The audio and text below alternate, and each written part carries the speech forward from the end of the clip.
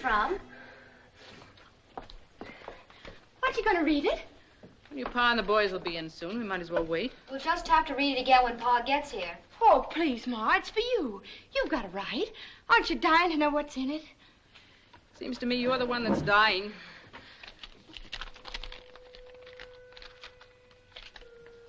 Dragonwyck, May 19th, 1844. My dear cousin Abigail.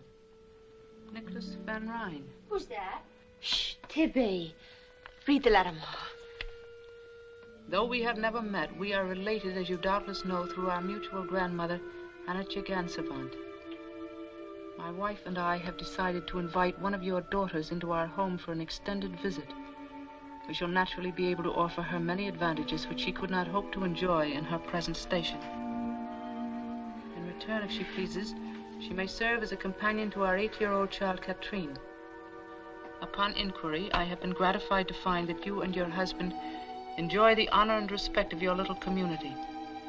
Be so good as to let me know at your earliest convenience which of your daughters you select, and I will make all suitable arrangements for her journey to Dragonwyck. Respectfully yours, Nicholas Van Ryn. Golly. Is he really your cousin?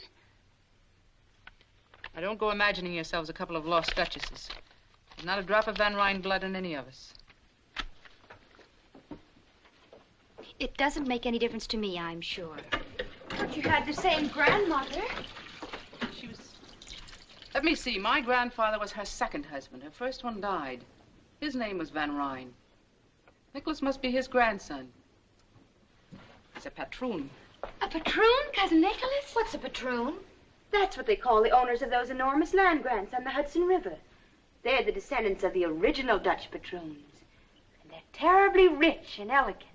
He must be very important. I remember reading three or four years ago about his visiting President Van Buren at the White House. But you haven't said yet, Ma, whether I could go.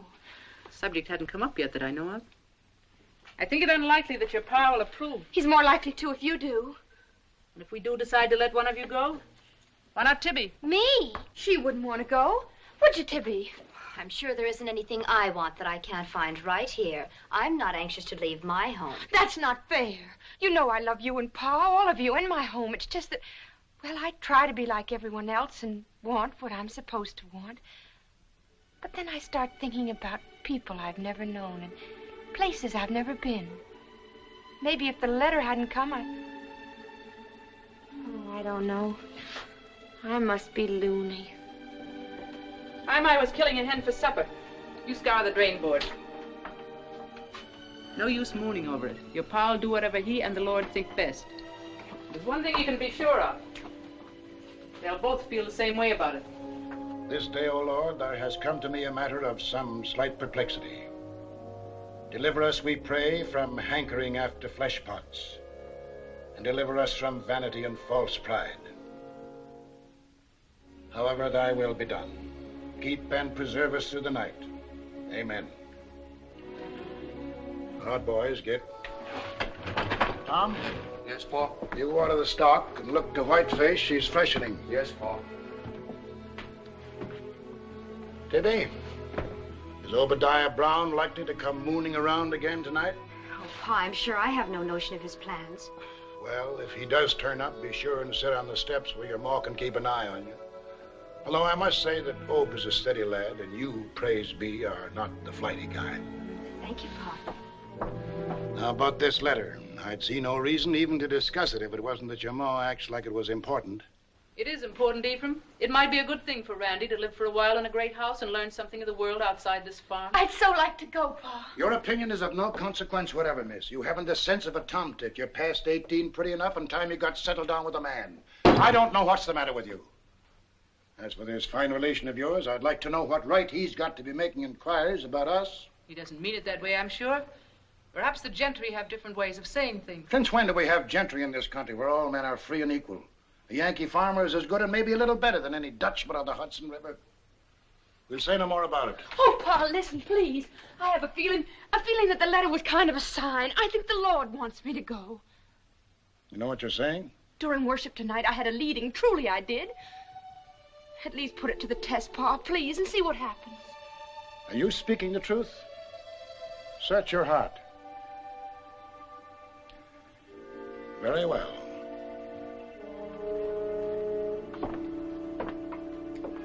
Close your eyes. Now open the book.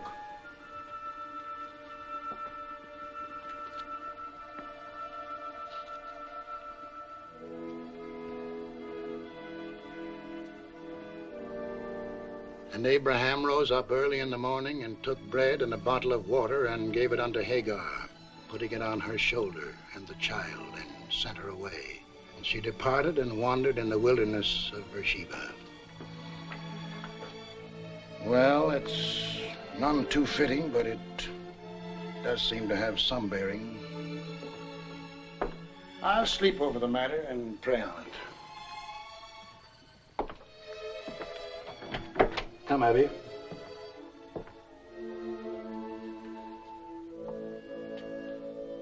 You know, this is the first time I've ever known the Lord to go back on your pa.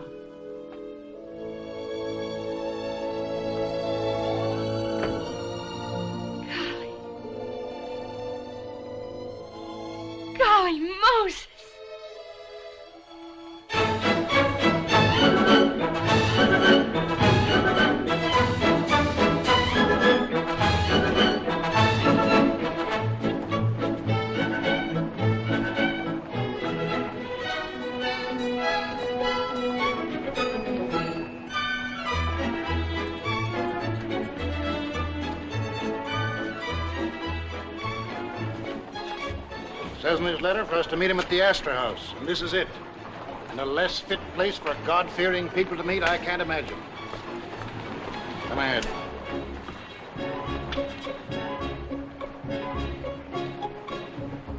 And uh, what can I do for you, my good man? Are you the tavern keeper? This is not a tavern, and I am not a keeper, my good man. And I'm not your good man. We were to meet a Mr. Nicholas Van Ryn. Perhaps you can tell... Mr. Nicholas Van Ryn, but of course. You must be Mr. and Miss Wells. A thousand pardons. How stupid of me not to have known it once.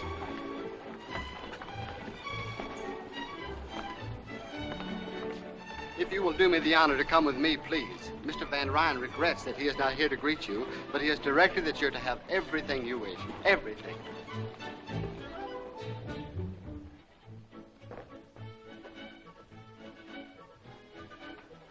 What's all this? Dinner, sir. I didn't order any. Mr. Van Ryn ordered dinner served at this time, sir. Mr. Van Ryn is not here. Yes, sir. Oh, it's beautiful. The food looks as if it had been painted. Wouldn't surprise me a bit. That's the strangest fruit. It's cold when I eat it and warm when I swallow. Let me taste that. Thought so. It's got spirits in it. Just a little bit, and it's so good. Even a little bit of evil cannot be good, Miranda. Don't be too impatient with me. You won't have to hear me preach to you much longer. It's not that I'm impatient, Pa, really. But after Mr. Van Ryn went to all this trouble. It's no trouble to be wasteful, and there's something peculiar about a man who orders supper someplace when he's someplace else.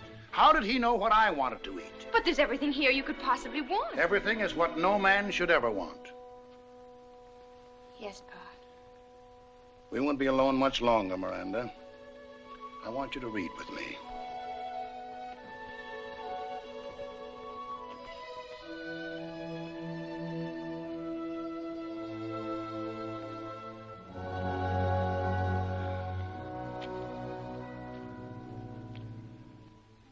I will sing of, Of mercy, mercy and judgment. Unto Unto thee, O Lord, will I sing. I will walk I will walk within my house with a perfect heart. I will set no wicked thing before mine eyes. I hate the work of them that turn aside. It, sh- it shall not cleave to me. A froward heart shall depart from me. I will not know a wicked person. More coffee, Cousin Miranda? No, thank you. You, sir? No thanks. The music is very nice. I understand they've opened the dining terrace for public dancing. It would be fun to watch. I don't know what made me think you'd be a much older man, Mr. Van Ryn. You've mentioned my age several times now, sir. Does it affect your confidence in me? Alexander the Great, when he was younger than I, had conquered most of the world. Maybe if he'd been a little older, he'd have conquered all of it, or maybe he'd have had the good sense not to try in the first place. Aristotle was his teacher, Mr. Wells, but I'm sure he put things less clearly than you. Tell me, young man, what are your politics? My politics? Hmm, since Van Buren is a New Yorker, I imagine you folks up along the Hudson are mostly for him. Martin's an old friend and neighbor of mine. Naturally, if he's nominated, my farmers will vote for him. What do you mean, your farmers? The tenant farmers on my land. There are nearly 200 of them. Never heard of tenant farmers. Don't they own their own land? No, it belongs to me. It belonged to my father and his father, back to the first patroon who took title in 1630. I permit the farmers to work my land, and they in return pay me a yearly tribute and a share of their produce. But uh, they can buy the land they've been working if they want to. No, Why not? because it belongs to me. As a farmer, I'd rather own one half acre of barren rock, free and clear, than work the richest land in the world for someone else. I dare say we don't understand each other's viewpoint. I dare say. Cousin Nicholas, is that the new waltz stands they're dancing down there? It sounds very much like one. It doesn't look improper at all. Do you dance the waltz? Miranda, Yes, Cousin Miranda, I dance the waltz, but never in a public place. Oh, our politics may not jibe, young man, but I like your manners. Well, some good may come to you out of this venture after all. I'm glad you think so, sir. Now it's time for bed. Don't forget your prayers, Miranda. no, Pa. Good night. Good night, Cousin Nicholas. Good night. Cousin Miranda, Yes? on occasion we dance the waltz at Dragonwyck. Good night.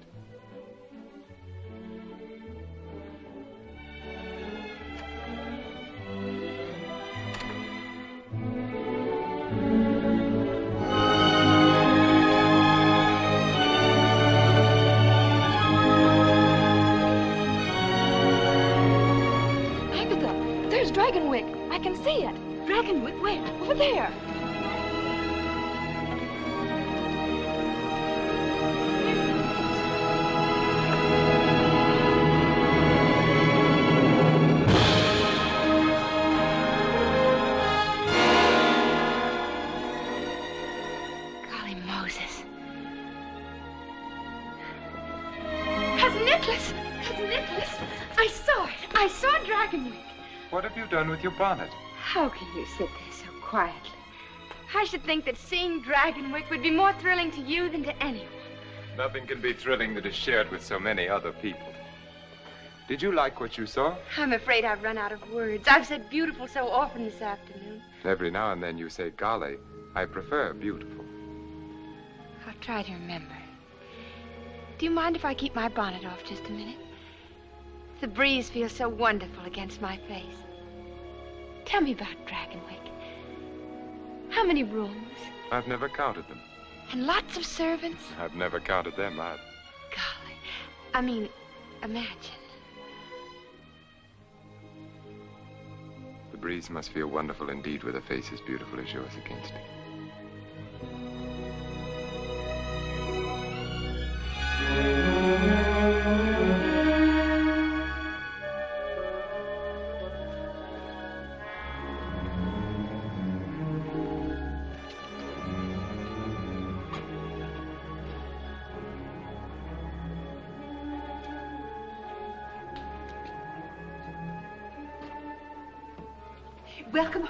Home, Mynheer Van Ryn. Thank you, Magda. This is Miss Wells. Magda is our housekeeper. How do you do? I assume Mrs. Van Ryn is at dinner. Yes, Mynheer, and you'll be pleased at how well she's looking. Not that Madam isn't always a picture. See that Katrine comes to the dining hall. Will you come this way, Cousin Miranda? Don't you think I'd better go to my room first? I, I must look hardly presentable. To my wife, promptness at meals is the highest human virtue.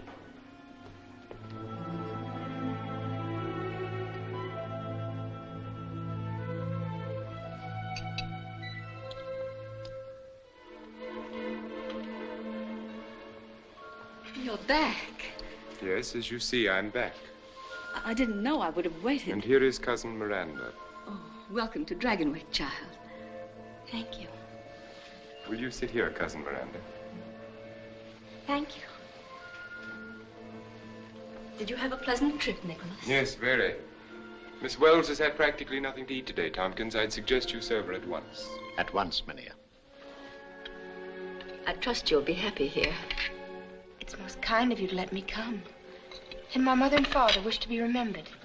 I'm sure they're most worthy people, and I'm sure you'll be a good girl.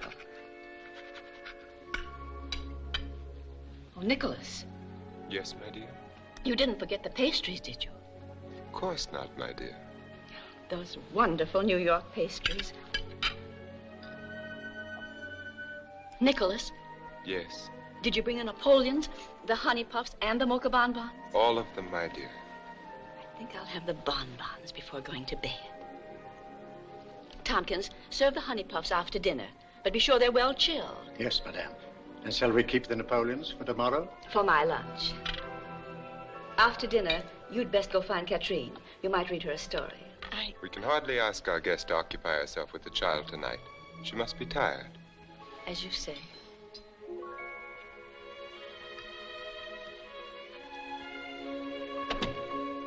Oh, there you are, Pet.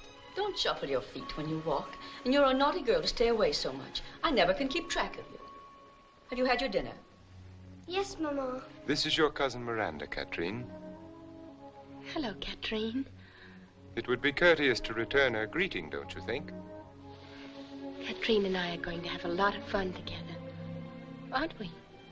Yes, Cousin Miranda.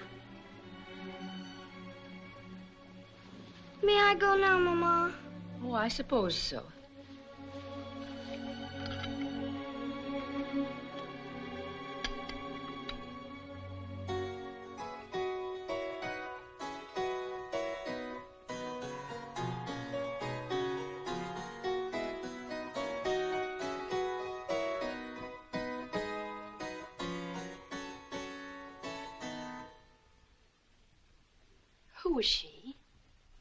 My great grandmother, Azild. Azild. That's a strange name. She looks like. like a frightened child. I don't know why we keep her hanging there. And that ugly old harpsichord is just an eyesore. The servants have to be driven to dust it. You think we're going to bite them? She was from New Orleans. She and my great grandfather were married there in 1743. I guess I imagine it was one of those sudden romantic adventures. Tell me some more about them, Cousin Nicholas. Azild and your great grandfather. Did they fall in love at first sight? No Van Ryn does anything at first sight. But she must have been happy to live here. As it turned out, it didn't matter. Soon after their son was born, she died. She brought this harpsichord with her from her home. She played it always. If you listen to the servants, they'll have you believe she still does. Fortunately, we don't listen to servants or to their superstitions. oh, no, of course not. I, I, I... Isn't it rather late, Nicholas? Perhaps we should I shall stay up for a while, but if you wish to retire, my dear. Yes, I, I think I will. Well, good night, then. Good night. Good night.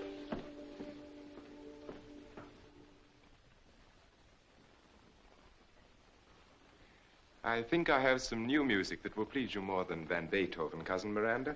You can sing as I play. Oh, no, really. Of course you can. The lyrics are printed on the sheet.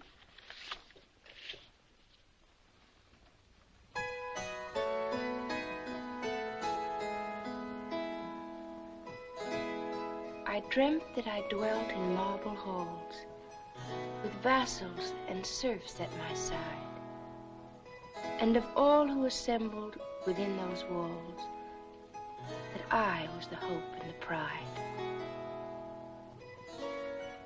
I had riches too great to count, could boast of a high ancestral name, but I also dreamt, which pleased me most, that you love me still the same. That you love me still the same. You read the words with an extraordinary understanding. I've never seen them before. Then perhaps there is someone at home whom you've promised to love still the same. Oh, no. It is getting late. I'm sure you've had an exhausting day. I shall have Magda show you to your room. Thank you. Good night, then. Good night, Cousin Nicholas. Since we are not really cousins, I can see no reason why we should continue to call ourselves so. Good night, Miranda. Good night.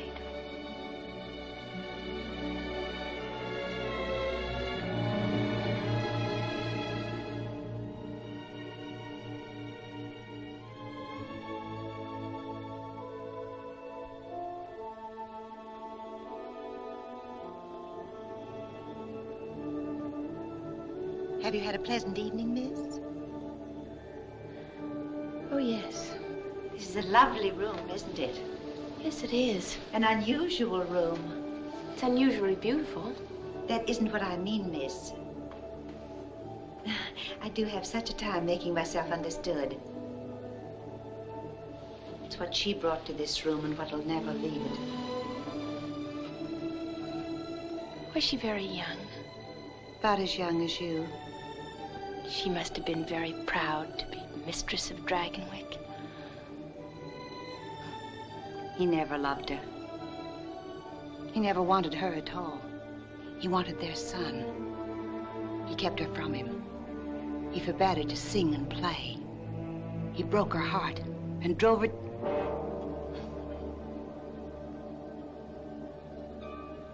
She prayed for disaster to come to the Van Ryns. And she swore that when it came, she'd always be here to sing and play. She killed herself in this room. This harpsichord. That's just kitchen gossip. Oh, you mustn't take me seriously, miss. No one ever does. May I take you to your room now? Thank you.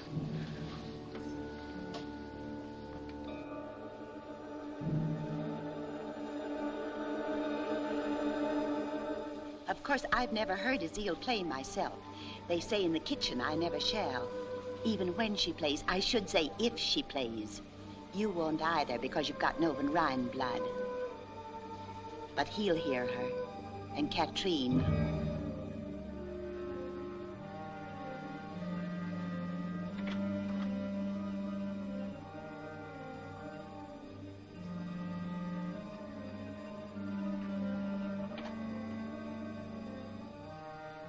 My room? Yes, miss.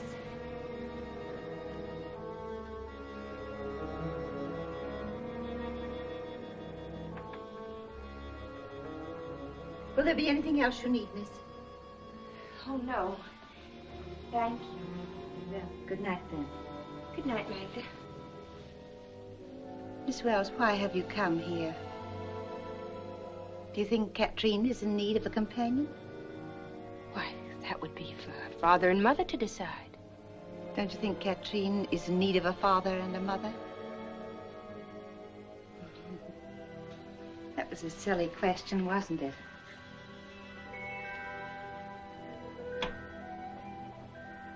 You like it here? Of course I do. Of course you do. You like being waited on. I could see tonight it was the first time. You like peaches out of season. Like the feel of silk sheets against your young body. And one day you will wish with all your heart you'd never come to Dragonwyck.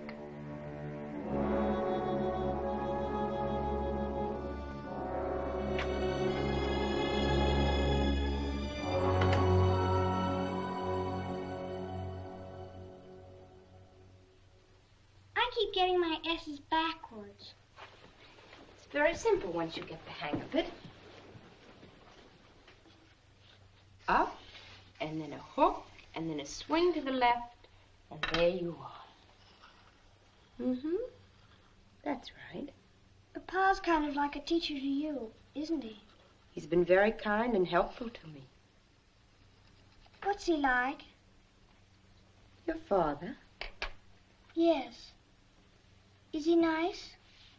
But of course he is. Don't you think so? Does he like me? Katrine, what a strange thing to say. Your father and mother both love you very much. Did they tell you that? Why, it's it's understood. They love you just the way you love them. But I don't love them.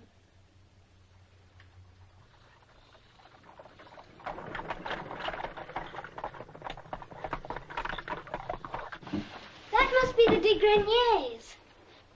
They've come for the Kermis tomorrow. They're staying overnight. The Count's such a funny-looking little man. It isn't polite to stare. Ca- Did you say Count?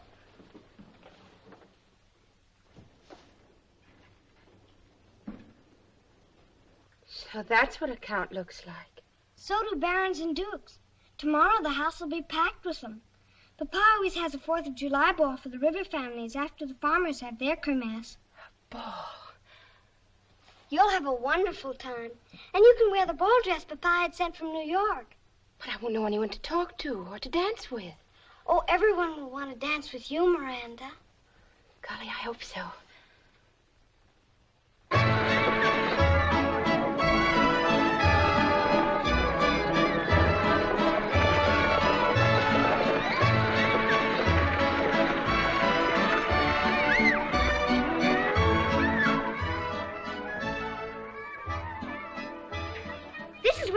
Every year to watch. Sometimes, after Papa leaves, I go and stand near the carousel. Perhaps you shouldn't have come, Katrine. It's wrong, you know, to disobey.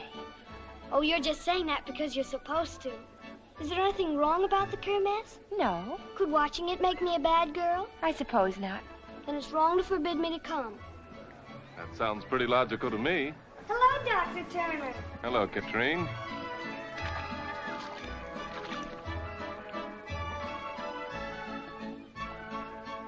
Oh, this is Miranda. Wells. How do you do, Miss Wells? how do you do? Papa sent for her all the way from Connecticut to be my companion. She's a kind of a very distant cousin, but she's nice. I had no idea that the Van Ryns ever honored Connecticut. We're not really cousins, but Mr. Van Ryn was kind enough to invite me to Dragon, Whereabouts in Connecticut? near Greenwich. But that's all farm country. Sheep and potatoes, mostly. You seem so startled, Doctor. Haven't you ever met anyone who came off a farm? Not anyone who came off a farm to live at Dragonwyck. It seems like an odd place for you girls to watch the Kermesse. You'd have much more fun over there. But we're really not supposed to be here.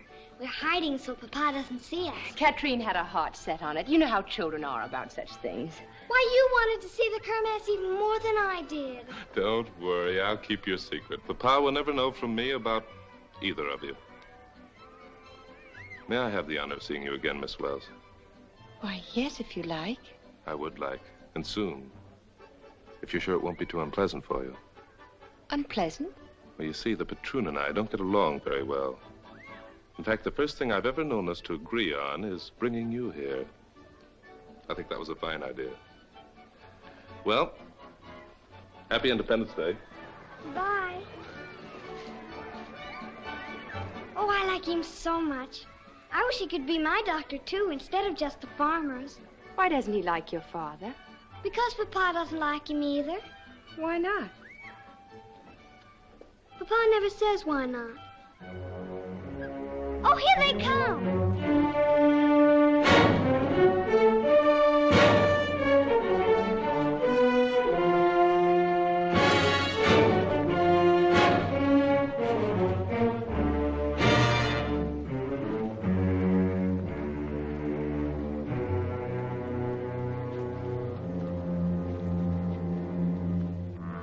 What brings you to our kermesse, Dr. Turner? Are you expecting an epidemic of minor injuries? You never can tell, Mr. Van Ryn.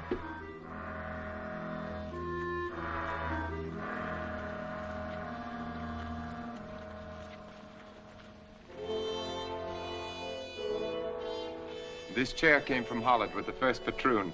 It represents, among other things, over 200 years of extreme discomfort. The patroon is ready. The first man will come forward, bringing with him rent and tribute. Klaas Bleeker, Hill Farm. Rent, winter wheat, and. You've brought nothing with you, Klaas? No.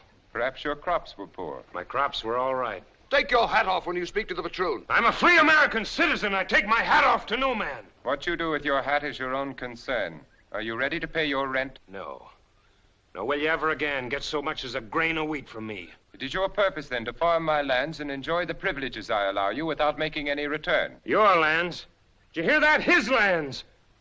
For 200 years, the Bleekers have worked the hill farm. And for longer than that, it has belonged to the Van Ryn. We've paid the worth of it many times over, and you know it. Well, here's the finish. I'm sorry to hear it.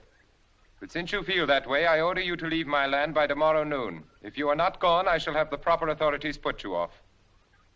Have the next man step forward. Otto Gebhardt.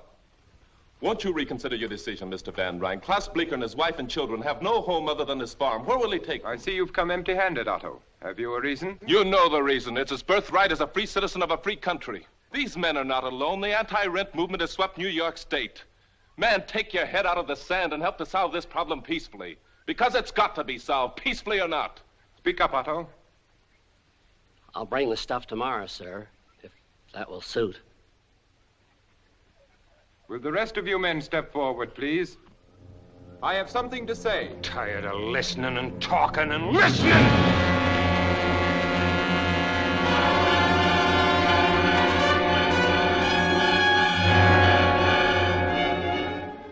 Klaas just lost his head, that's all. He doesn't mean violence any more than the rest of us. I hope you'll overlook this. I suppose I must regard what you did as an effort to save my life, Dr. Turner. And whether or not I regard you as a meddling trespasser, I suppose I must thank you. You've got the facts wrong. The way I see it, you're the trespasser. Also, saving your life wasn't what I had in mind. If Klaas had killed you, it would have done these men infinitely more harm than you could ever do alive. So don't thank me, Mr. Van Ryn.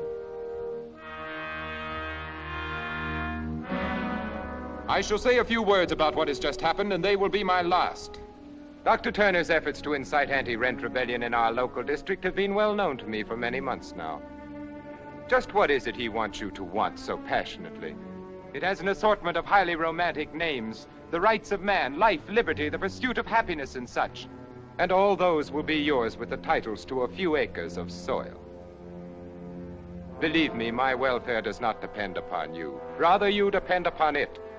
But my rents and tributes and my responsibilities are hereditary, the symbols of a way of life to which I have been born and in which I shall continue to live. I shall never relinquish my position.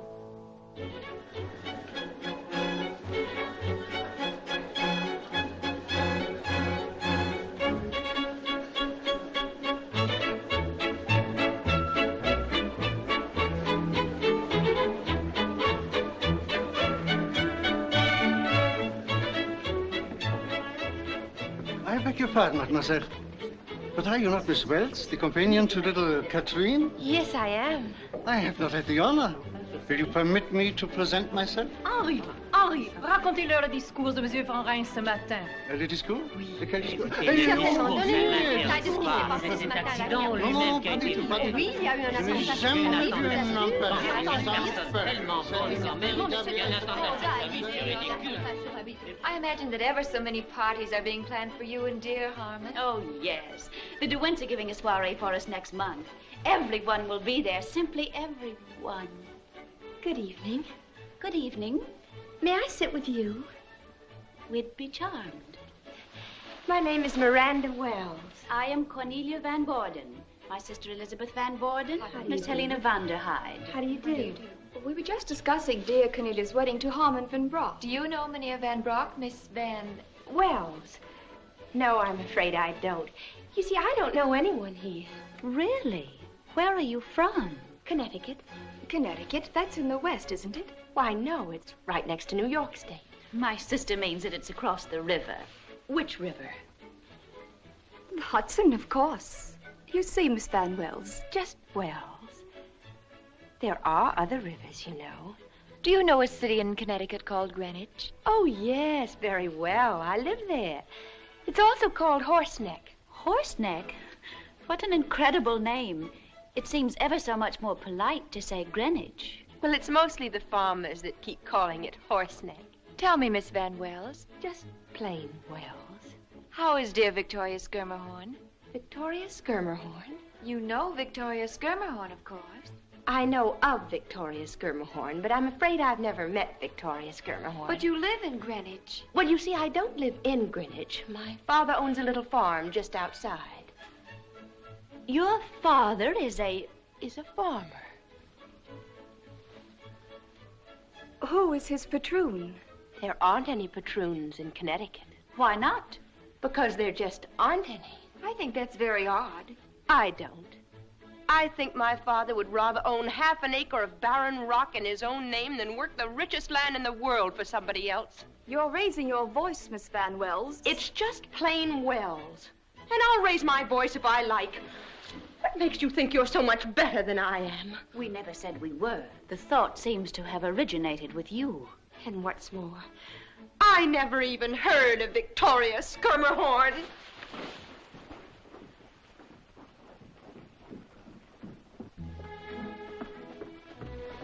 Miss Wells. Is there anything I can do for you? No, thank you, Magda. Of course, it's only my humble opinion, but I think you're the most beautiful lady at the ball. That's very kind of you, Magda. All of the servants think so. I can't understand why you haven't danced every dance. Then I suppose most of the gentlemen are spoken for.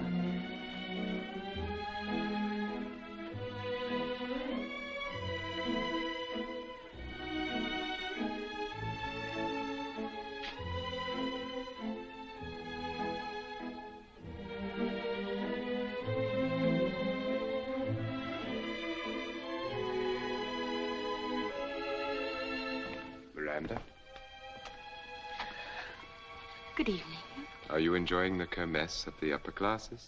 Very interesting to watch. As if I were visiting a different world. And I suppose everyone has commented on your gown and how beautiful you look. Not everyone. Do you like it, Nicholas? Very much. And do you think I'm beautiful? The most beautiful lady at the ball? Yes, I do. Thank you. I'm very grateful.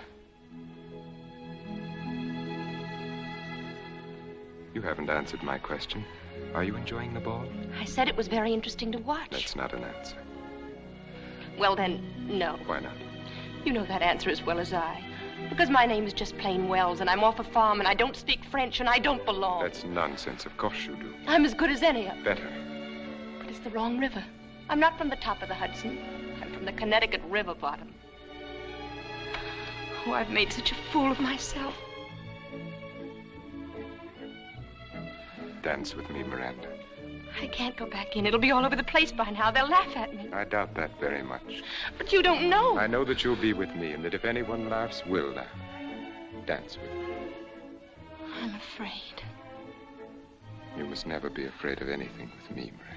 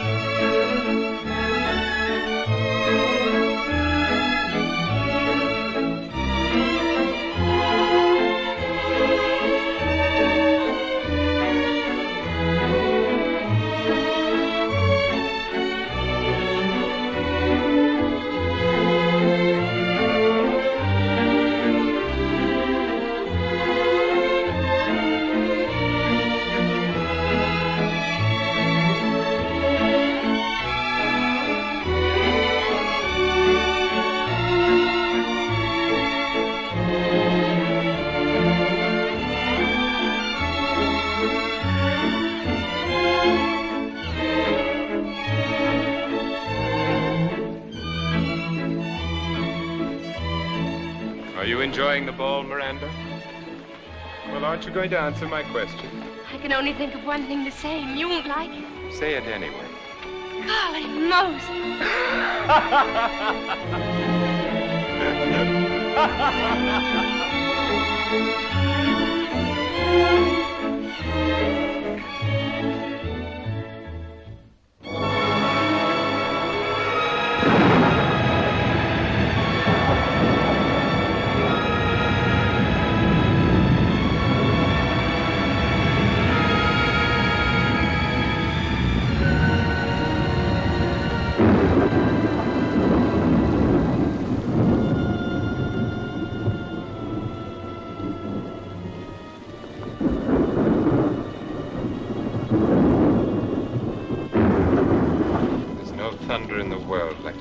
of the Catskills.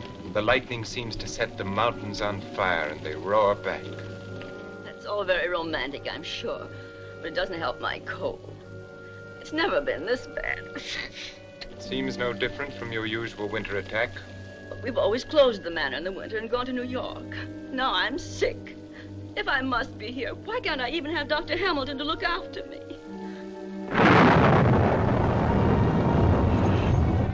Storm lets up and the roads are passable, Storm lets up. They never stop in these dreary Catskills. Come in. What do you want? Mynheer Van Ryn asked this be brought to you.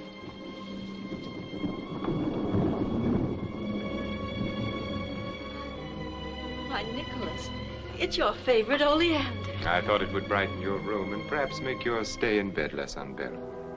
Thank you so much. Can't remember when anything has pleased me more. How alive it is. As if it were thinking, as if it had thoughts of its own and desires of its own.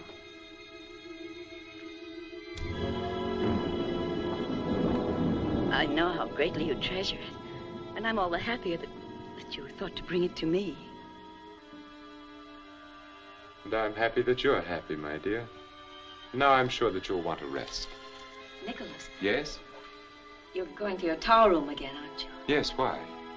The servants must think it's strange that you spend so much time up there. And I find it strange that you should think about what they think. What could you possibly do up there? Possibly. Anything from pinning butterflies to hiding an insane twin brother. Actually, I read. I hope that my explanation satisfies you. I'm sick. Haven't you even let Dr. Hamilton know? Your happiness at the Oleander seems to have faded pretty quickly. You can't imagine what it's like to be sick in this miserable, drab house. I cannot imagine that Dragonwyck could be either miserable or drab except to those who reflect misery or drabness from within themselves.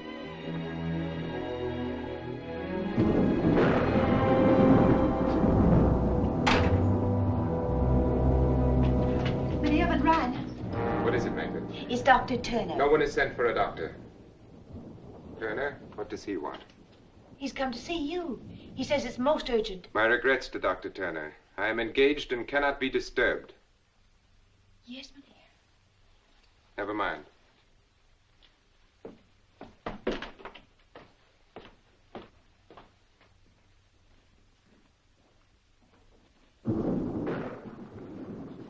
Sorry to intrude like this, Mr. Van Ryn, but it's most important. Yes?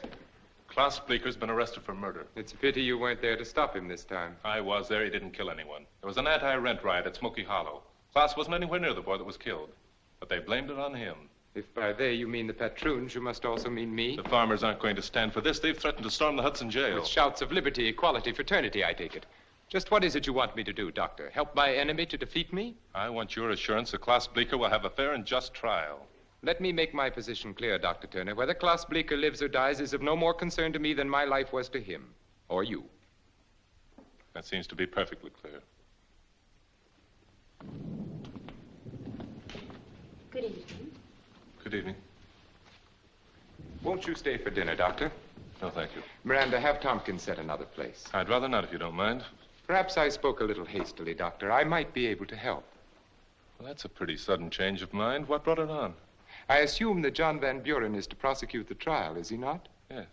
He's a close personal friend of mine. You still haven't told me what changed your mind. Dr. Turner, you have my assurance Klaas Bleeker will have a fair trial. Now you might do something for me. Mrs. Van Ryn has a severe cold. Will you help her if you can? Yes, certainly. I'll show you to her room.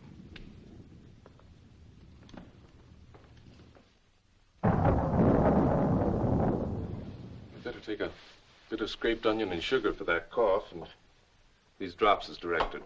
You'll be fine in a few days. A few days? Dr. Hamilton always kept me in bed for at least two weeks. He's probably right, but with most of my patients, it's all I can do to keep them in bed while I examine them. A lighter diet might help soup, tea, boiled eggs, less cake. That's nonsense. It's common knowledge that one should stuff a cold. I'll eat all I please. Well, you get well faster without it, but you get well anyway. What a beautiful oleander. I'm relieved to know you find so little cause for alarm, Doctor. It's just a head cold. Do you think you could find your way down alone? If you and Miranda will wait dinner for me, I'll visit a while longer with Mrs. Van Ryn. Yes, of course. Good night.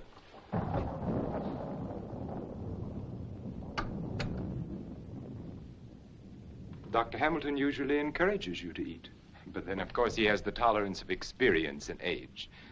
Turner is young and relentless. You. You told him you wanted to stay and visit with me for a while. What did you mean by that? Precisely what I said. Just to stay and be with me? Oh, Nicholas, you confuse me so. Sometimes when you bring me flowers and smile at me, I think What? that you like me and, and want me. And sometimes Yes. I feel that you hate me and would like me to die. Nicholas, Yes. do you think, could we go away together? Away. Alone, just the two of us, when I'm well again? Of course we will, my dear. As soon as you're well again. I feel well enough already. In that case, even Dr. Turner would approve of your finishing your dinner. Shall I bring your cake? Oh, yes, thank you. You know, it's funny. The day we first met, last summer at the Kermesse, I thought we had very much in common. As time went on, we'd have more and more.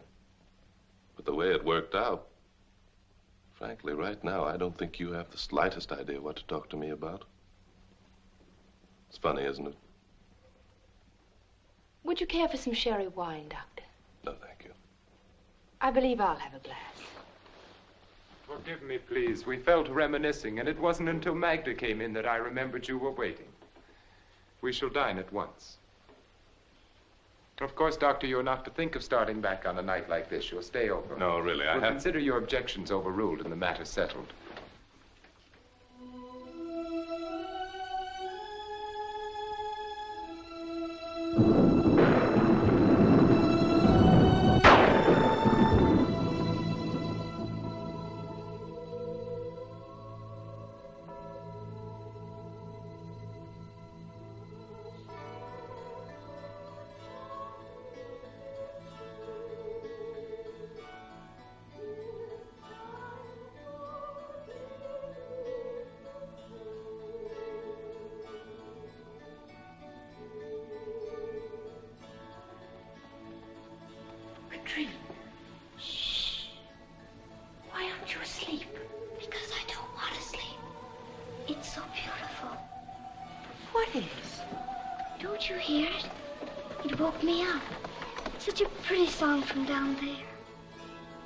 Dreaming. It's a lady. She's singing and playing the harpsichord. Katrine. It's like a lullaby. But it must be funny, because every now and then she laughs. There, she's laughing now. Don't you hear it? It's getting louder and louder. Oh, I don't like it now. Make her stop. I'm afraid. I'm afraid. Make her stop. Darling, it's no one. Really, it isn't. You must believe me. It's. Well, I can remember when I was a little girl. I used to imagine things so hard that I thought they were real. But don't you see, if there were anything, I'd hear it too. It's dark now. Of course it has. It never started, really. Oh, I'm so tired.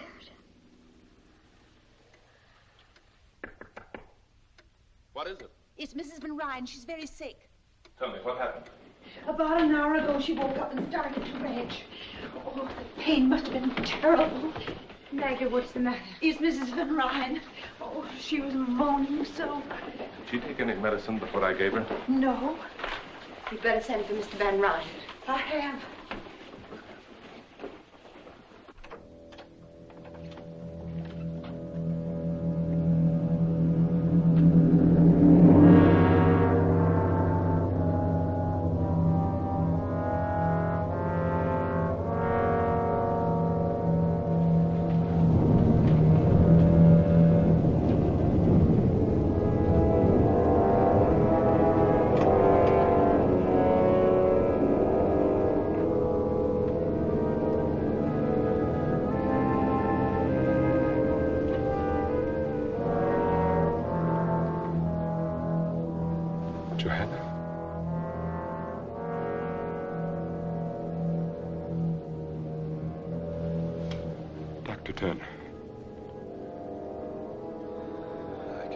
Understand it.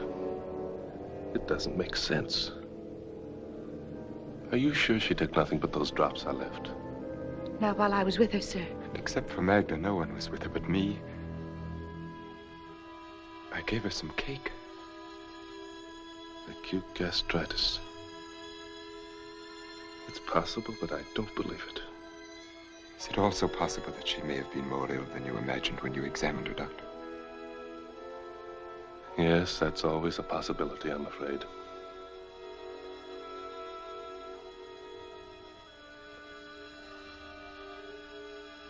See that the pastor is notified at once. And have him come to me.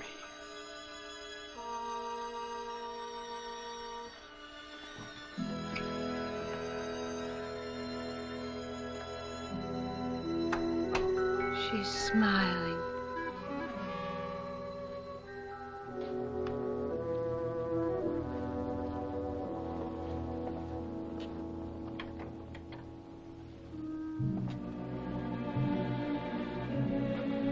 Sure he didn't mean that you were to blame. Whether he meant it or not.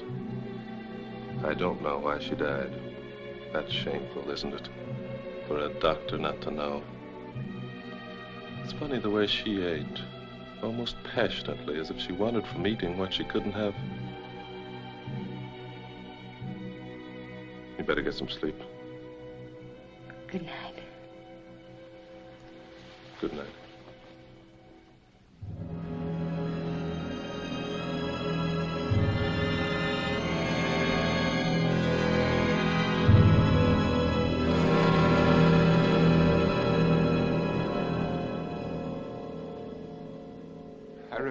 The chapel bell rang on the day Johanna and I were married.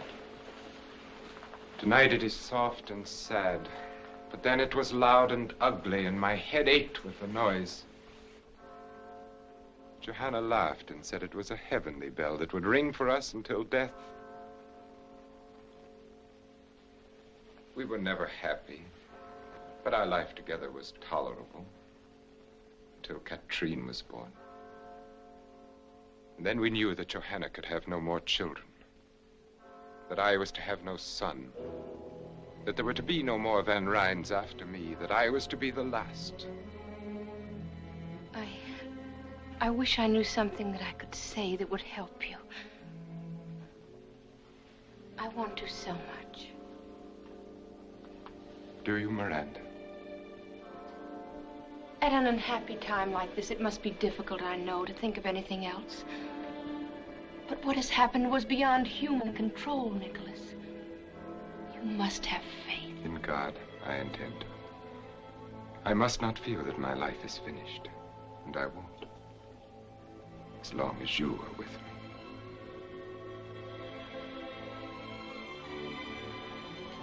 The bell has stopped now. It must be nearly dawn. Miranda, you've known as well as I that this was inevitable. That we were inevitable. I didn't know who you were, or what, or where. Out of all this world, why should I have called to you and no one else? And why should you have come to me and no one else? It's because you were meant to. You knew it the instant our eyes first met and everything within us met. And you know it now. You have no right to say that, to talk like this, please. You couldn't help yourself any more than I. Am I right? Tell me that I'm wrong. Forgive me then if you can. I had no right to speak as I did, and you have every reason to be angry with me. But I had to say it. There was no way for me not to. And no one but you to hear it. Good night, Miranda.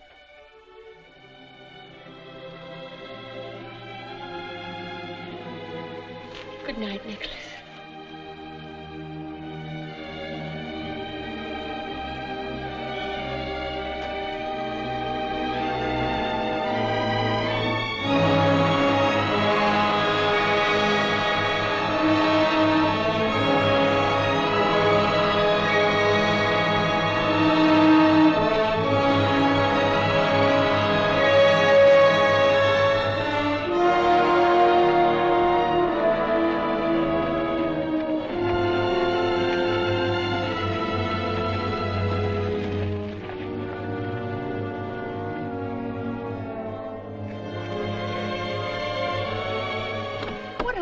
Just heard the news that you're going away. Why, Jeff Turner, I never thought you'd go to all this trouble to say goodbye. That's just it. I don't want to say goodbye to you. But, Jeff, I'm going home. Well, that isn't what I mean. I think it's fine that you're going back to your folks. What I mean is, Greenwich isn't so very far away after all, is it? I know, Jeff, it isn't. And I was thinking that maybe I could come there and visit you in a month or so. Of course, Jeff, whenever you're passing through. Would next week be too soon? I know our relationship hasn't been exactly. Well, I've teased you mostly and sometimes made you angry, but I've always thought that in time I could show you how I really felt.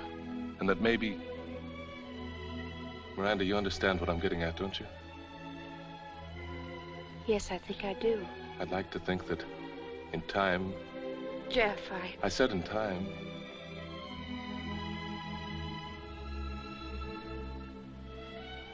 Is it that hopeless? I don't know what to say. well There's not very much you can, I guess. Well, have a nice trip. Thank you, Jeff.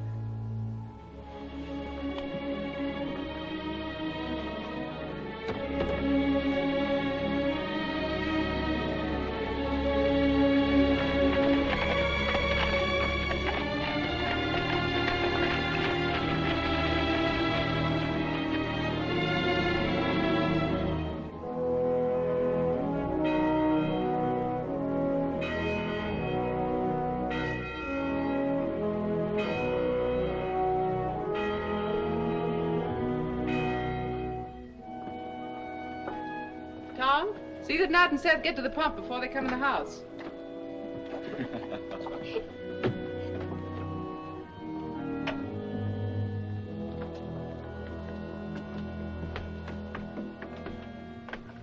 Come inside. I want to talk to you.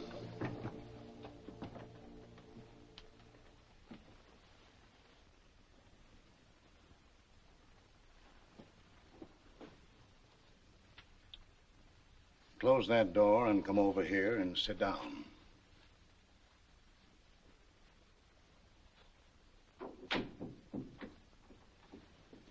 That was a nice sermon today, Pa. Strange you should say that. Struck me you weren't listening too hard. I heard every word. Struck me your mind wasn't on it at all. Where is your mind?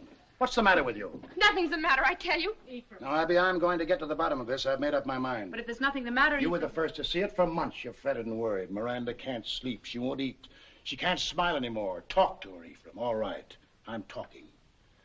Since the day you drove in here in that fancy rig, you've been no more one of us than if you'd never come home at all. Ephraim, please. You hung your fancy outfits in the closets and you acted like you never took them off.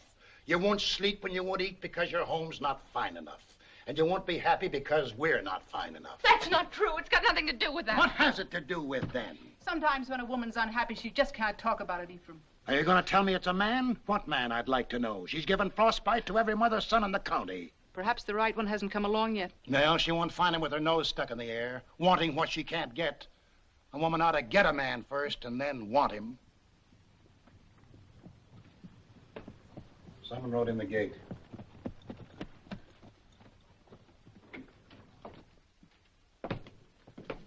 Here's a message for Ephraim Wells, Esquire, from Weed's Tavern in Greenwich. Who's it from? I don't know, but I can tell you how to find out. Read it.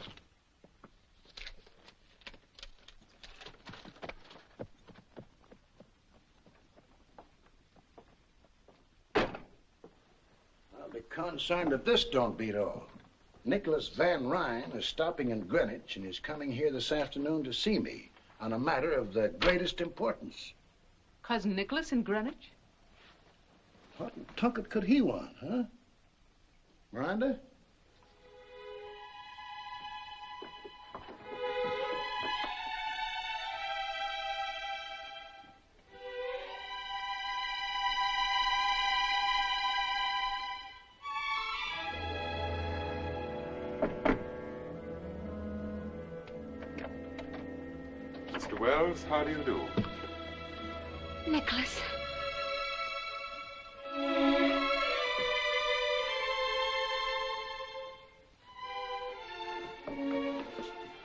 Just what is the meaning of this?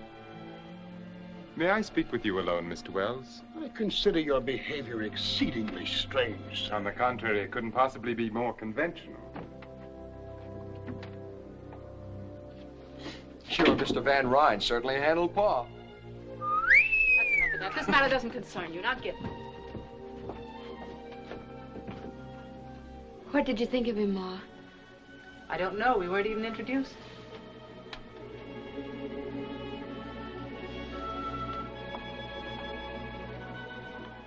Was just in the excitement of the moment. He's such a perfect gentleman. He'd never be impolite to you. I'm sure he has fine manners. He's he's come to ask Pa. He wants to marry me. I know. How do you know? Ever since you've been home, you've never brought his name up once. A woman's apt to be that quiet about a man she loves. Besides, you've ironed that dress every week now for two months. Miranda, child. Yes, Ma. You love him very much. Of course I do. Are you sure? Why do you ask that? It's just. Maybe I shouldn't have let you go. Maybe Dragonwyck should have stayed something to read about and dream about.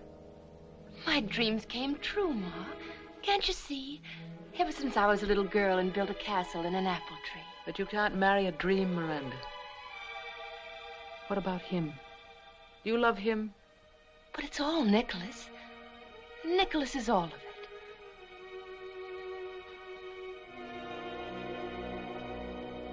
You're acting so strangely. Almost as if you were afraid. Miranda, Abigail, come on in here.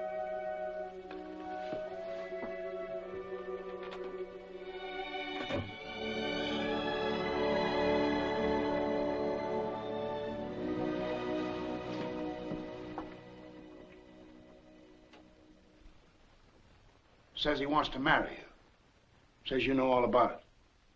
Yes, Pa. Have you considered that your mother and I might object? I have already pointed out to your father at some length that there are no valid objections. And I've already pointed out to you, sir, that I'll make up my own mind. What do you think, Abby? I don't think thinking has anything to do with it anymore, Ephraim. It's something that is, and we must make the best of it. I want to apologize for my rudeness when I entered your house. My only excuse is that I saw nothing and wanted to see nothing but Miranda at that moment. I can understand that, Mr. Van Ryn. You're forgiven. Thank you. I think you should know that I have already called at your parsonage and engaged the Reverend Clark to be here tomorrow afternoon at three o'clock. Tomorrow? It's indecent. It's too soon. I want my girl married in a church like a good Christian. I'll have no hole and corner wedding here. She has nothing ready, no wedding gown. For once, we will let the ceremony outshine the costume. Whatever dress Miranda wears will be forever cherished as her wedding gown. Hmm. A lot of pretty words. Too many for me. Miranda, you got plenty at stake here. You'd better say something.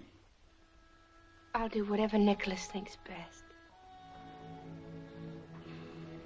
So be it. Amen, Mr. Wells. And now I must return to Greenwich. Miranda, will you walk with me to my carriage? Until tomorrow, then. Goodbye.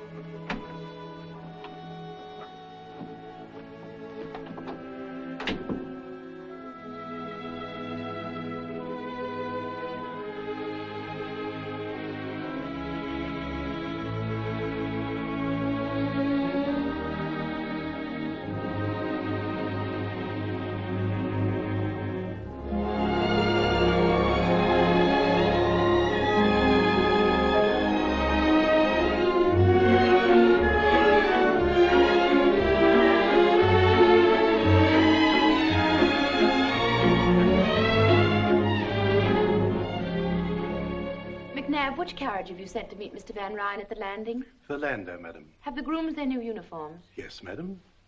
Here are the menus for the week. Thank you, madam. And Mrs. McNabb, I've just written Miss Katrine that we found her doll. Please be sure that it's packed carefully. I wouldn't want anything to happen to it. Certainly, madam.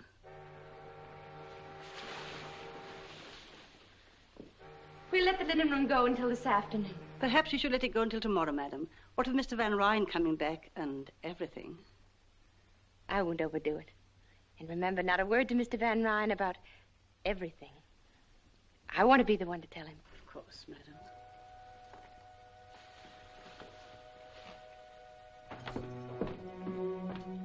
Welcome back, son. How did you find New York? Unbearable, thank you, Mrs. McNabb. Nicholas. How lovely you are. I'd almost forgotten how lovely you are. I'm not when you're not with me. I'm not anything. Three long weeks. Have you missed me? Have you been well? I missed you terribly. And everything has been just fine. As a matter of fact... I'm fact, having our townhouse entirely redone. A new music room. We must plan a series of entertainments for the winter Mrs. season. McNabb said I'd find you here. Oh, I beg your pardon. I didn't know. That's all right, Peggy. This is Mr. Van Ryn. Was it anything important? Well, it was just a reminder that you ate none of your breakfast this morning. And all your favorite dishes, too. We won't talk about food if you don't mind. You'll eat every bite of your lunch, or there'll be quite a bit of talk. You carry on as if you'd cooked it yourself. Me? I couldn't cook the bottom of a pan. But she managed to burn my best India muslin negligee. That I did, sir. The ironing is worse than the cooking. And she ruined it completely when she tried to sew it together again. True. Me sewing is even more horrible than me ironing. What would I be wanting with the likes of a greenhorn like you? Can you tell me? That I can't.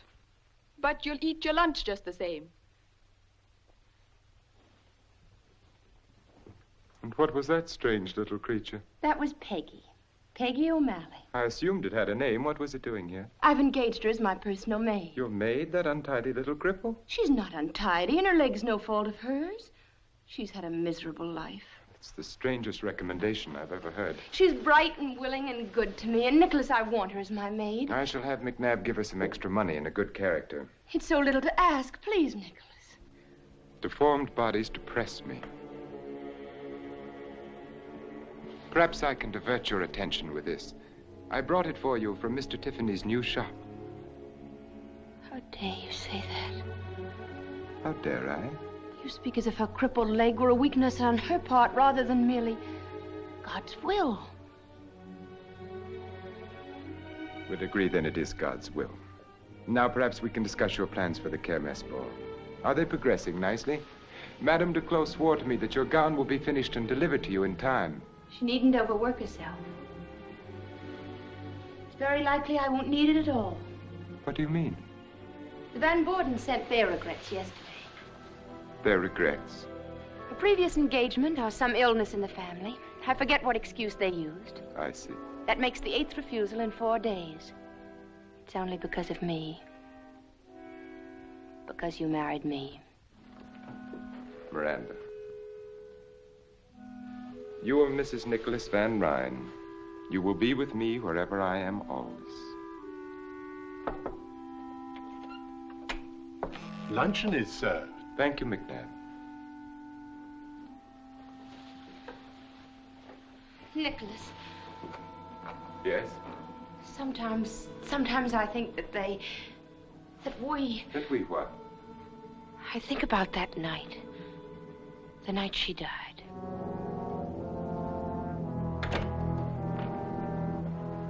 What about that night? It was so soon after. Perhaps we should have waited to decide. In the hope that our gossip mongering neighbors would be more approving. I don't care whether they know, Nicholas. It's just that we do, and and so does God. I've never heard you speak so childishly, Miranda. You might well be on your father's knee. Do you believe there is a God who spends eternity snooping on human behavior and punishing all violators of the pastor's latest sermon? That's not what I mean at all. What do you mean? Well, well, I believe that God has put a sense of right and wrong within all of us. And that when we do wrong, no matter if no one else knows, we do. And you've remembered that ever since your Sunday school days, haven't you? That's a good girl. Now let us enjoy our lunch. Nicholas, you do believe in God. I believe in myself, and I am answerable to myself. I will not live according to printed mottos like the directions on a medicine bottle.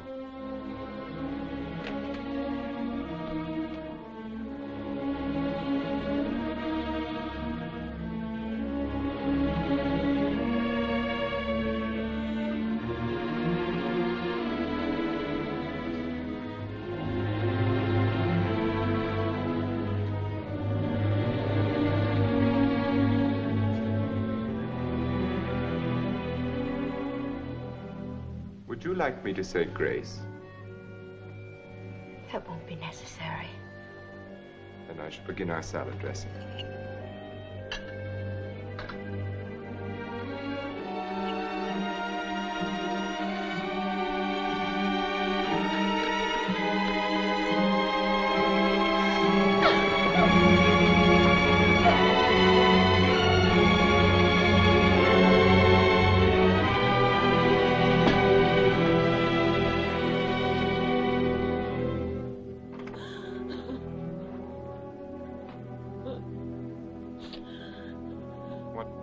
Excuse can you have for humiliating me like that?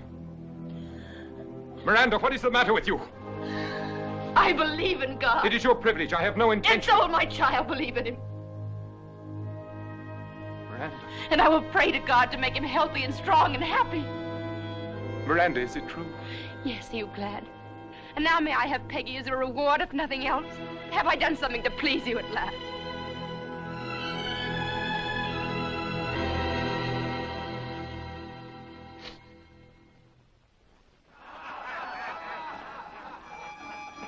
Listen to 'em. They're celebrating. I'm going to celebrate too and get drunk. John Young's our new governor, and the farmers of New York State have got a right to celebrate and get drunk. Hand me up my ancestral chair.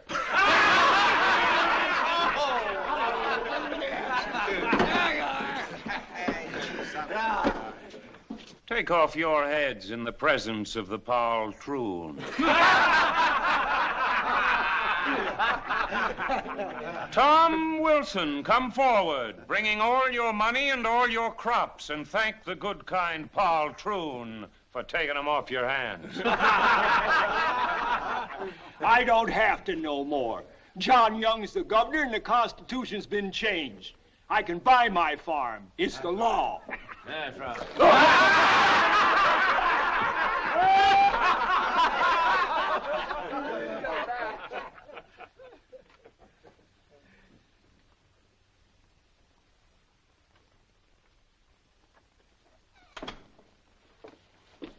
Turner, will you come with me at once to Dragonwyck? We need you urgently. Is anything wrong? Mrs. Van Ryn is having a baby. Her time is here. Dr. William Brown has been staying at the manor. I had him come from New York. He's a fine doctor. He's a fool. I beg you to come. There are certain Have you any reason to think she's in danger? Mrs. Van Ryn, I don't know that she. Doctor, nothing must happen to my son. All right.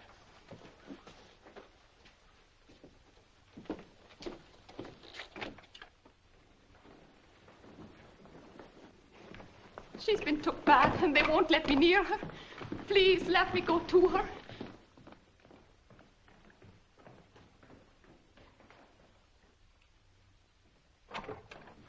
What is it, Dr. Brown? What has happened? Everything's quite all right, Mr. Van Ryn. Quite, quite. Are you certain? I assure you. Dr. Turner, I want you to take every precaution. Mr. Van Ryn, would you and the nurse step out while I consult with Dr. Brown? I can see no reason Your for- presence here can only be upsetting to you and to us.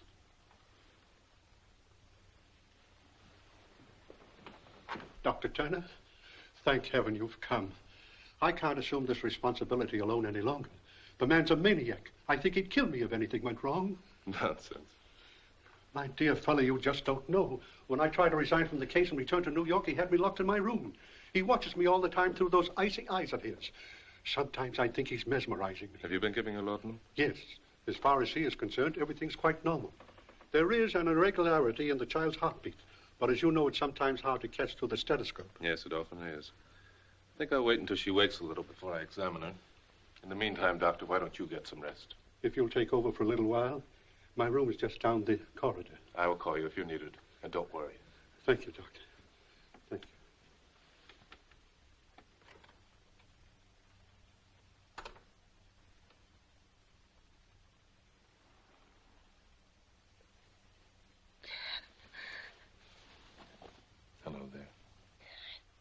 Don't know whether to believe this or not. You can believe it. Are you going to take care of me now? Yes. I'm going to take care of you now. That's good. It's. Uh, it'll be all right now. afraid anymore. Don't be afraid. Call Dr. Brown. Jeff, help me. I'll always help you.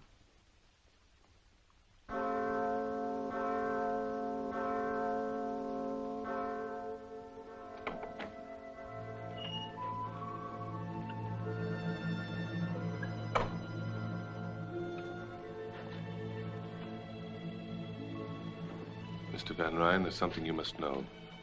Your son is not well. I can't tell you how sorry I am, but at least your wife has come through beautifully, and in time, there's no reason why you can't have other babies. My son is entirely well, Dr. Turner. I appreciate your services, and you will be suitably recompensed. But he can't live. His heart is malformed. It's a miracle he wasn't stillborn. It's nobody's fault. Nothing could have prevented it.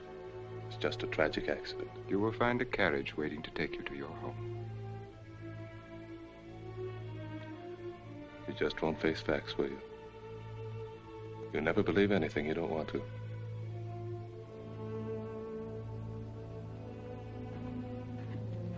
And there is no reason for you to see Mrs. Van Ryn again. Good day, Doc.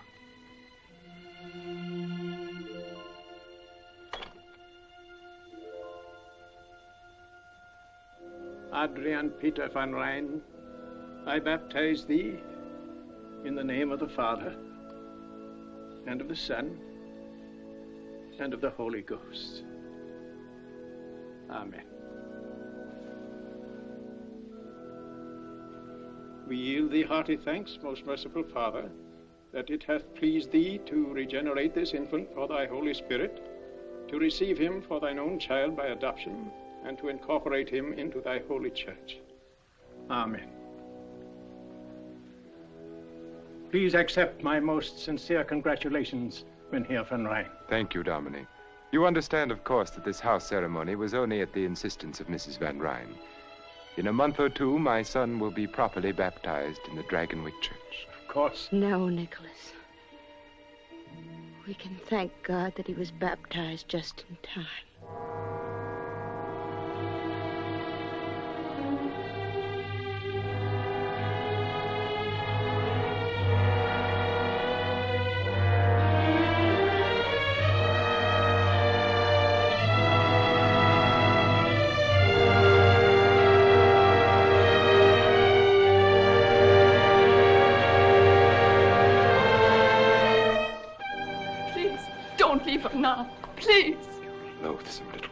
Should you have been permitted to live and not my son?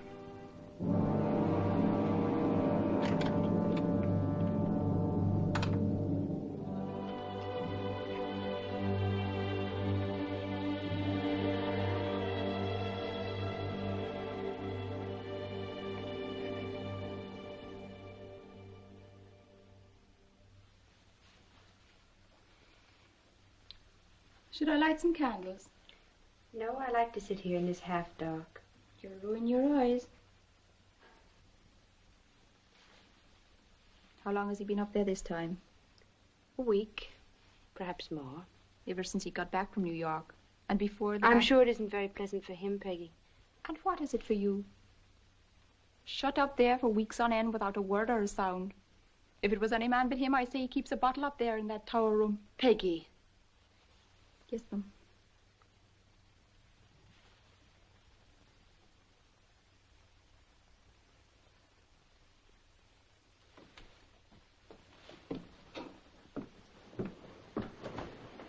With you.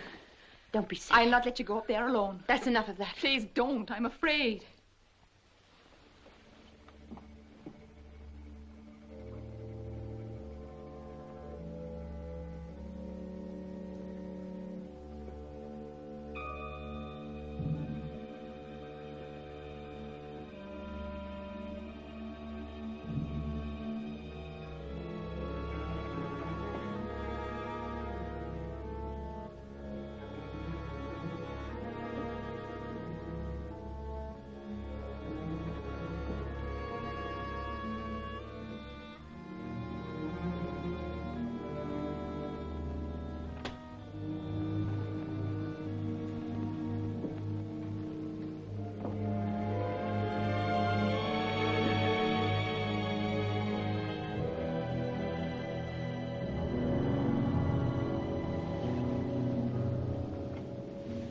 It's you.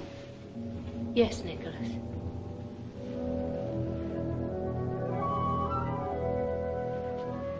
I. This is an unlooked for pleasure. I wasn't expecting you. Frankly, I'd almost succeeded in forgetting you. Don't be frightened. I'm not frightened. I'm sure you're not. You have courage, Miranda. I like that about you. It must have taken a great deal to make this pilgrimage up to the mysterious tower room. I assume your twisted little friend is offering up suitable prayers for your safe return. I see no reason why they should be necessary. Tell me, are you disappointed in what you found here? I'm sure you expected velvet drapes and heathen idols, an altar for human sacrifice at least. Nicholas, what do you do here? What do I do?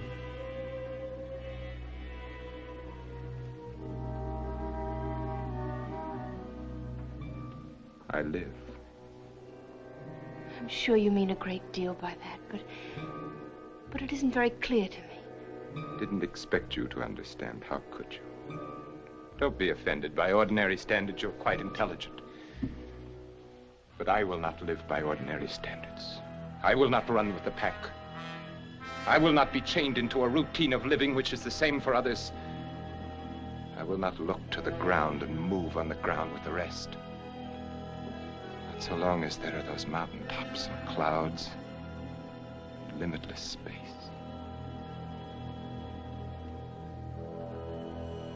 I'm sure you are still unable to understand. I want to try if you'll help me. Shall I? Shall I tell you what you want to know? Brace yourself. Prepare to have your God-fearing, farm-bred, prayer-fattened morality shaken to its core. See, I have become what is vulgarly known as a drug addict. Why? No tearful reproaches, no attempts to save me, to regenerate me. Why do you find it necessary? That is what you could not hope to comprehend. It is because I have set free something within me. Something that ever since I can remember has been like a rock caught in my heart, in my brain, pushing at me, choking.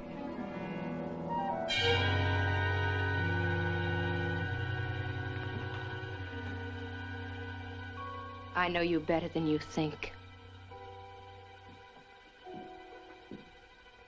Perhaps I have underestimated your intelligence. No, it's pretty ordinary and farm bred. I couldn't follow everything you said, but I think it's pretty simple. You're just plain running away. Is it as simple as that? I've seen farmers with their crops ruined and their cattle dead, and most of them just go to work. But some of them blame their troubles on God and get drunk. To forget, to run away, to run away and hide. That's what you're doing, Nicholas. Whenever you've come up against something unpleasant that you couldn't change, like the rent law. Or the death of my son. Our son. Get out of here. Nicholas, let me help. I don't need to be helped. Help me then. Please don't shut me out like this. Let me be unhappy with you and happy again. Let me be part of you. Let me love you and love me too.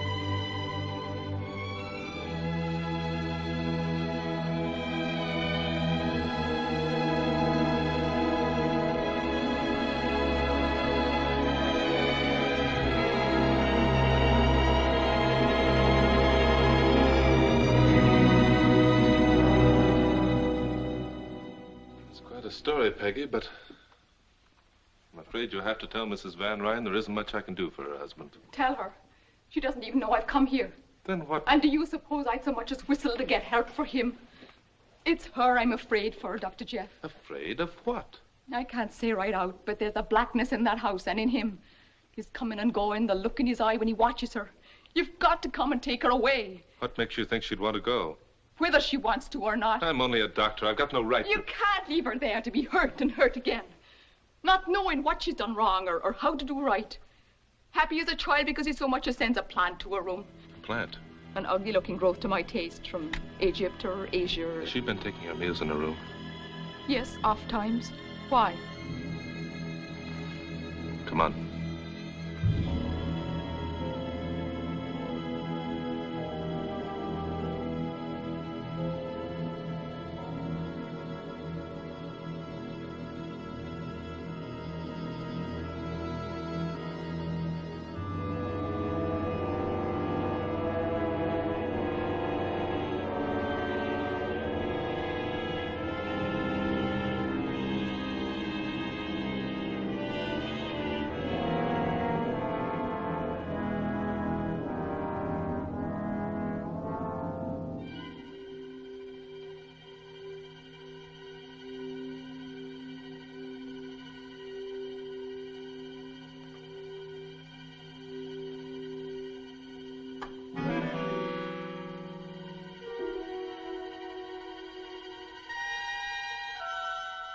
Please don't stop on my account.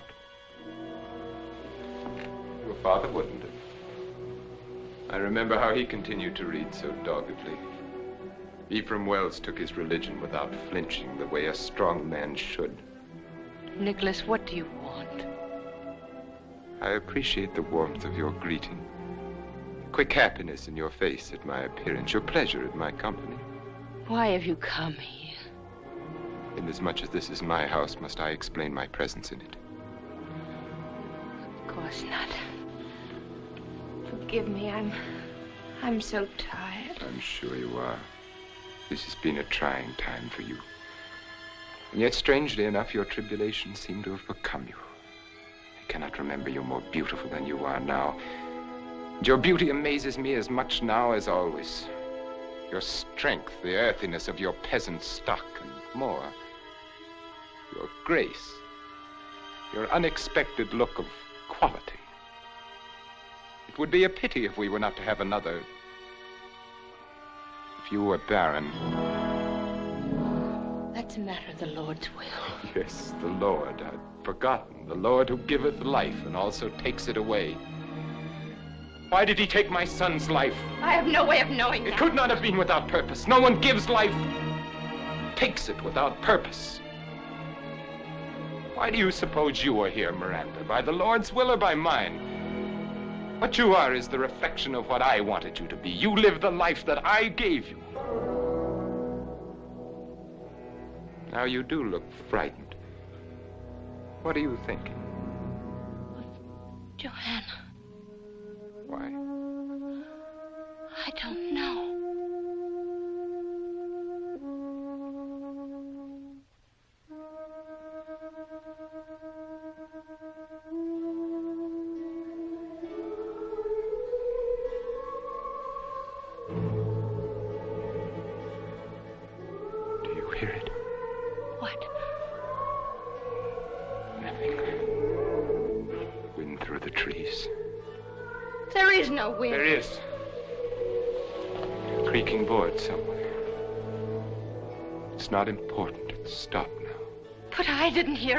Neither did I. Yes, you do. It's it's from the red room. The harpsichord is ill. Stop it. Then Katrine did hear her that night when Johanna. And you must have heard it too. And you must have been listening the night our little son. I never believed it really.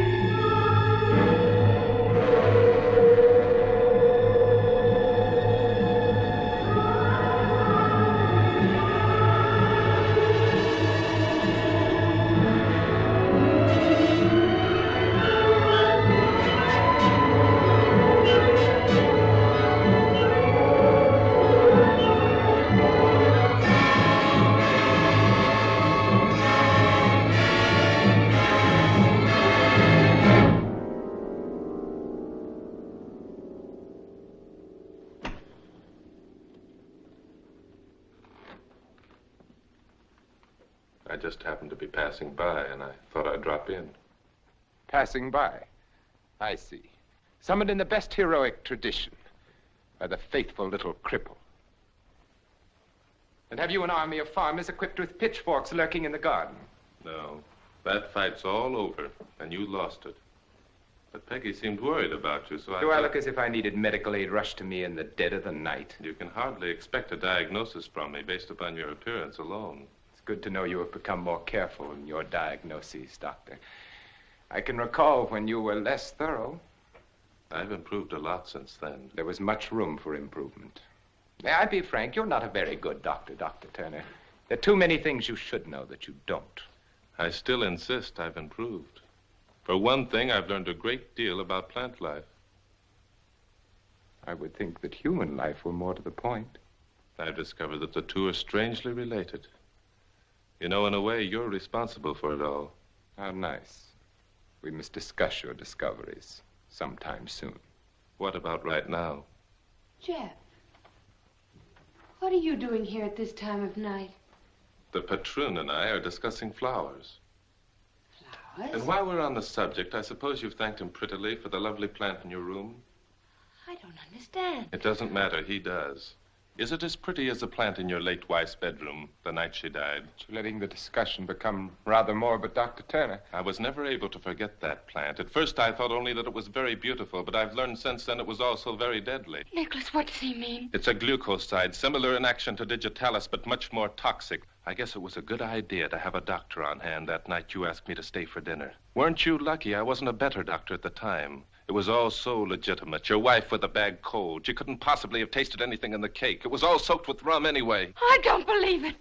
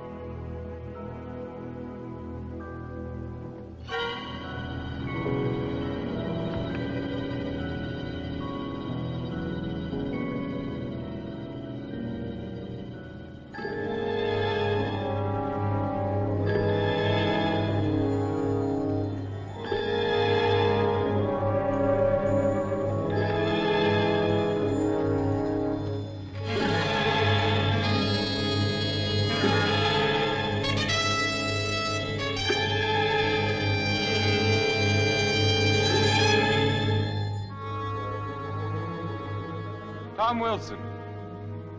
Jeb Ribbling. Gebhardt, Brown, Berger. Come forward, all of you. I have something to say to you.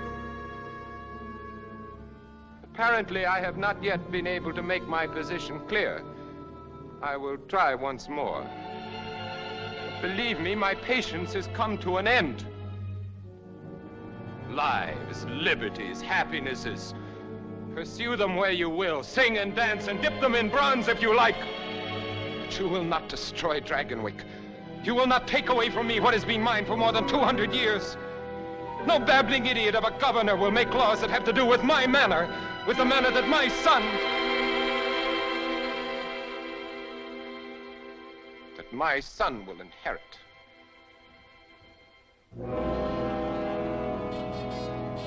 Oh, it's Dr. Turner.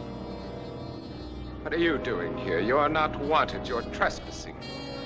I don't want you here. I don't need you anymore. There was a time when you knew too little and I could use you, but now.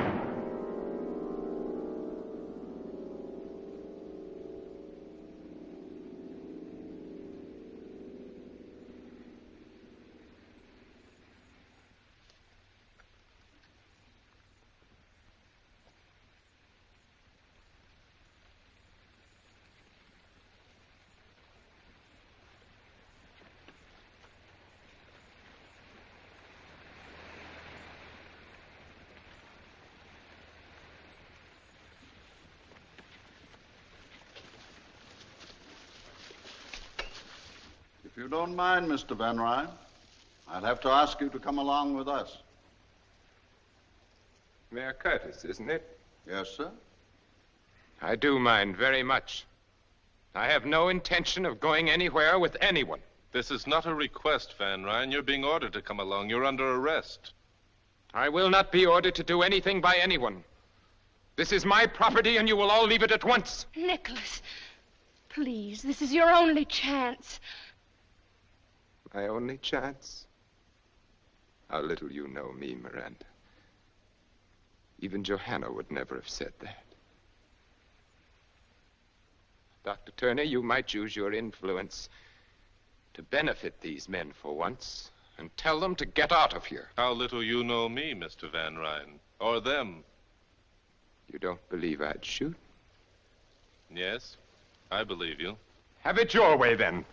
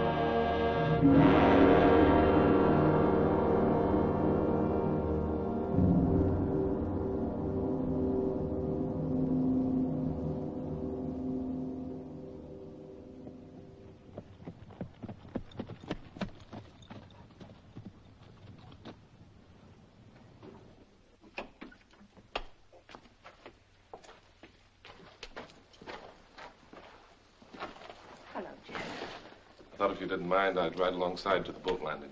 You're welcome to ride inside. Thanks. I'd like nothing more, but then I'd have to ride back here and it alone. You understand? Of course I do. Goodbye, Mrs. McNabb. And thank you for everything. It'll be lonely here without you, Mrs. Van Ryn. Mrs. Van Ryn. Suddenly it sounded strange to hear you called that.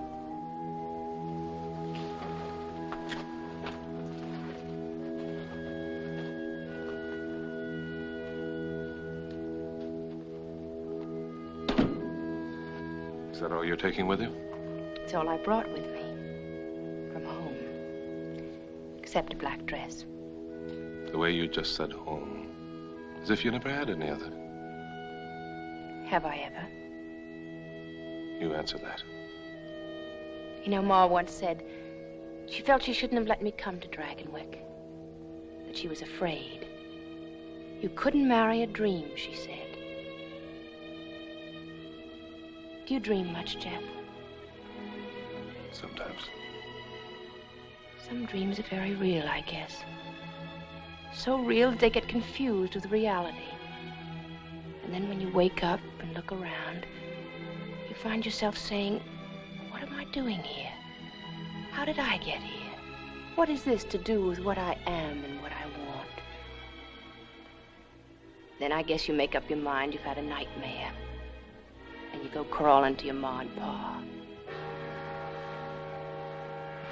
So it's back to Greenwich now, Miranda. With never another thought of anything here. Well, Greenwich isn't so far away after all. Perhaps you'll be passing through sometime, Jeff.